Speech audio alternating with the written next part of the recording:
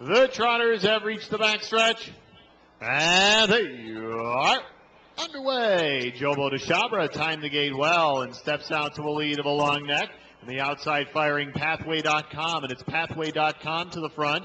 Jodo, Jobo DeChabra second from the far outside. Orphan Victor makes a move towards the front as well. Inside fourth, Wildfire Boat, and a length and a half to Morong fifth. Another length and a half to Thor's Hammer. After that, a real laser is seventh. On the outside there, definitely Mamie, and Moneyman K is the trailer to the quarter mile marker now in 28 and one fifth. And it's Orphan Victor on the outside, hounding pathway.com. Those two stride for stride as they pass the party patio. And Orphan Victor having a hard time getting by the Northfield ship, the North uh, Field shipper. Inside Jobo DeChabra is third, followed there by Wildfire Bow, and still Orphan Victor hasn't cleared. Thor's Hammer begins his journey on the outside. Inside sixth is Morong. Also following cover there is uh, uh, definitely Mamie at the end, a real laser, and a Moneyman K. The half 57 and 4, 29 and 3 second panel. And Pathway.com was able to repel Orphan Victor, who's now slowly backtracking. Jobo DeChabra getting a good trip behind that speed duel. Now Thor's Hammer three wide past the tiring horse, just two lengths off the lead.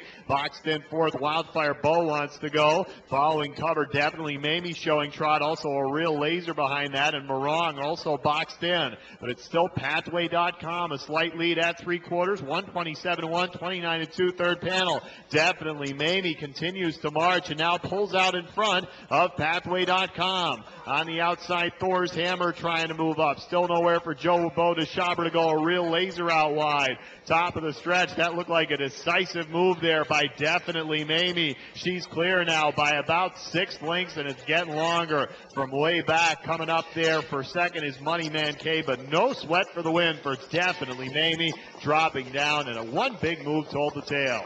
Moneyman K came up for second, a real laser third, and Morong finished fourth. Definitely Mamie, definitely tonight. 156 and 3. Kelly, we picked this one on top here, and the fans let this one get away because they were just concerned with the nine hole here.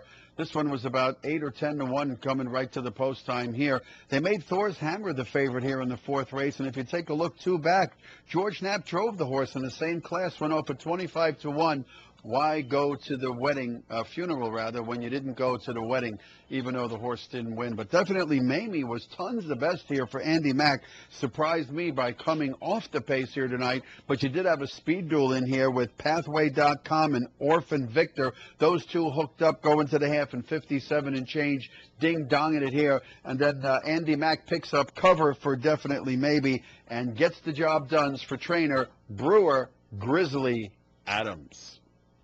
Judges have posted the unofficial order finished for the fourth. Number nine, definitely Mamie, finished first. Number six, Moneyman K, finished second. Number three, A Real Laser, finished third. Number seven, Morong, finished fourth. Unofficially nine, six, three, seven, race four.